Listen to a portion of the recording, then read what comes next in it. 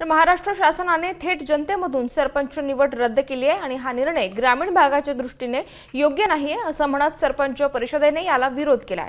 मनसेने या मागणीला पाठिंबा द्यावा यासाठी सरपंच परिषदेच्या पदाधिकाऱ्यांनी मनसाध्यक्ष राज ठाकरे यांची कृष्णकुंज निवासस्थानी भेट घेतली.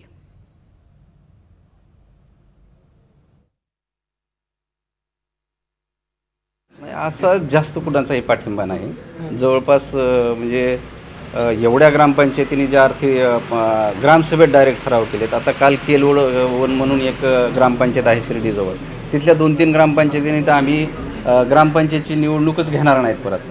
असं पण केलेलं आहे. आणि ग्रामीण भागात मोठ्या प्रमाणात भांडणं जनतेत म्हणजे सदस्यातून सरपंच जर झाला तर मोठ्या प्रमाणात भांडणं निर्माण होतात. भावकीचं राजकारण होतं. एका गावाला वर्षाला सरपंच उपसरपंच बदलला जातो. आणि पाच वर्षात पाच पाच सरपंच एका एका गावाला दिले जातात. आता ग्रामीण भागात मोठ्या प्रमाणावर युवक हे समोर आलेले आहेत. अनेक गावं राज्यात चांगली त्यांनी निर्माण केलेली आहेत.